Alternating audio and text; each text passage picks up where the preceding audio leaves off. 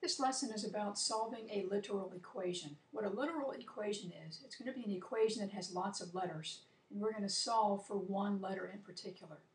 When you look at this equation here, F is the letter that has been solved for. I want to solve this for A instead. A suggestion is to circle the letter you're trying to solve for, just to keep that in your mind that that's the letter you want to isolate. To do these, you have to think about what operation has been done and then undo that. The opposite of multiplying m and a is to divide both sides by m. When you divide both sides by m, the m's cancel here. You get a, which is what you want, and over here, all you have is f over m. Similar example is solving this for L. Circle the L. LW means L times W. The opposite of multiplying is dividing divide both sides by w. And be sure you do both sides because you have to maintain the balance of the equation. The w's cancel out. You're left with L. Over here, you have A over W.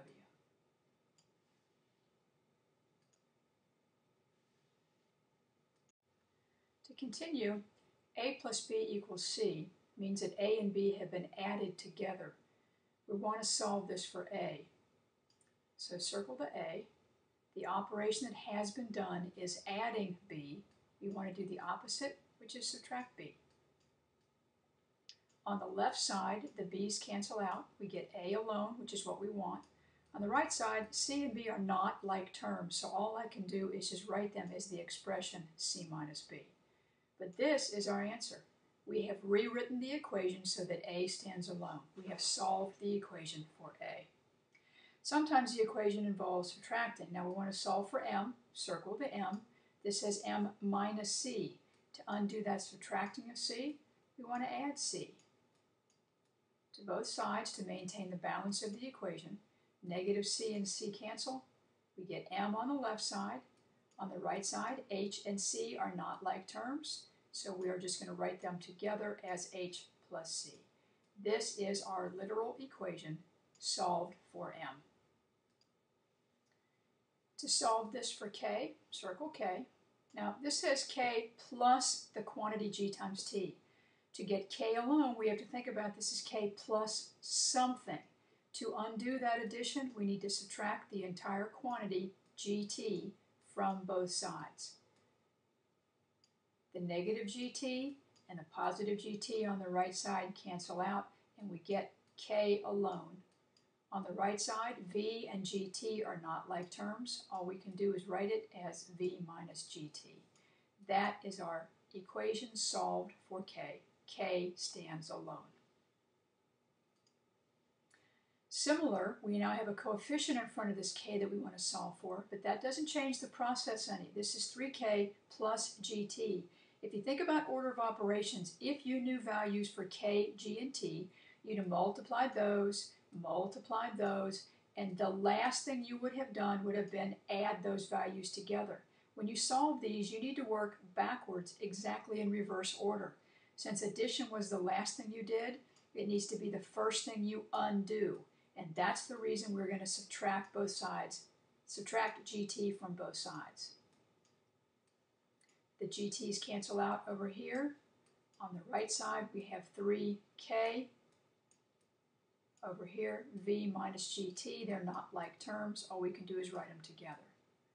And then divide by 3 on both sides. I can divide by 3 this way and just do one big line and put 3, but sometimes it's going to be better if we divide each individual term by 3 because you'll see a little bit later there is some reducing that we're going to be able to do. In this example, we have a coefficient in front of k, which is what we want to solve for, that coefficient is not a number. But this is very similar to the last one we just did. You still need to think about order of operations, realizing that that plus is the last thing you would do. So this is AK plus the quantity GT. You need to undo that addition of GT by subtracting GT from both sides. On the right side, the GTs cancel out. We still have A times K. Circle the K, that's what we're solving for. This side, the v and the gt are not like terms. All I can do is write them as the expression v minus gt. At this point, ak means a times k. Undo that by dividing by a.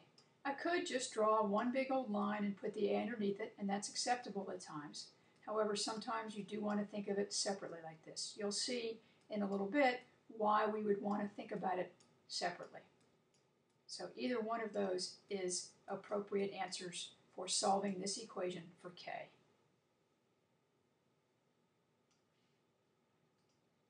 Sometimes you have fractions to deal with, and our general feeling about fractions is get rid of them. And the way to get rid of them is to multiply both sides by the denominator. When I multiply on the right side by 2, the 2 in the top and the bottom cancel, just giving me BH. The left side is now 2 times A. We're solving for H. To undo B times H, we just divide both sides by B. On the right side, those B's cancel. I get the H alone, which is what I'm trying to get, and the left side is 2A over B. This is my equation solved for H. Another one with a fraction. We're going to multiply both sides by the denominator, which is 2. On the right side, those 2's cancel, which is great because we don't want to deal with the fraction. So it stays A minus D. Left side, 2 times Q. We're trying to get D alone. Means we need to get rid of this A right here. That's a positive A. The negative goes with the D. It has nothing to do with the A. To undo this A, that is subtracting A from both sides. So we have negative D equals 2Q minus A. And the easiest way to deal with this negative sign here is just get rid of it. We don't want to know what negative D is. We want to know what positive D is. So I'm going to change it to a positive D. But if I make a sign change on the right side, I must make appropriate changes over here. The other way to deal with this, this was 2q minus a equals negative d. You could think about there being a negative 1 here, and then divide both sides by negative 1. And if you divide like this, 2q divided by negative 1 gives me negative 2q.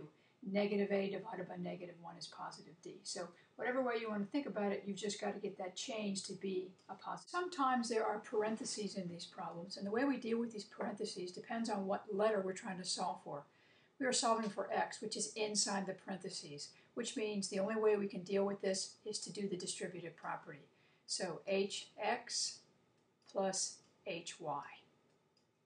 Now hopefully you see that that looks a whole lot like a problem we just did a couple minutes ago.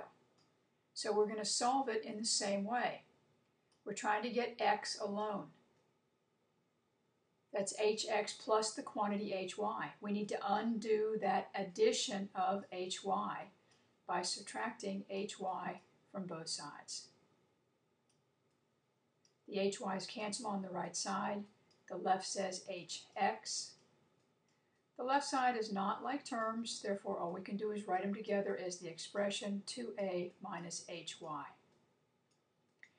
On the right side, x is not alone yet, that's h times x. Undo that multiplication by dividing both sides by h. Now, instead of doing it with the one big line, this is a time where separating it out is a good idea. That gives me 2a over h minus hy over h and the reason that's beneficial is I have an h in the top and an h in the bottom. I can cancel those out just getting y. And the front part of this just stays 2a over h. So our answer is 2a over h minus y equals x. We have solved that equation for x. x stands alone. Same equation, this time we want to solve for h. h is located outside of the parentheses. There's no reason to distribute. Think about this as h times the quantity.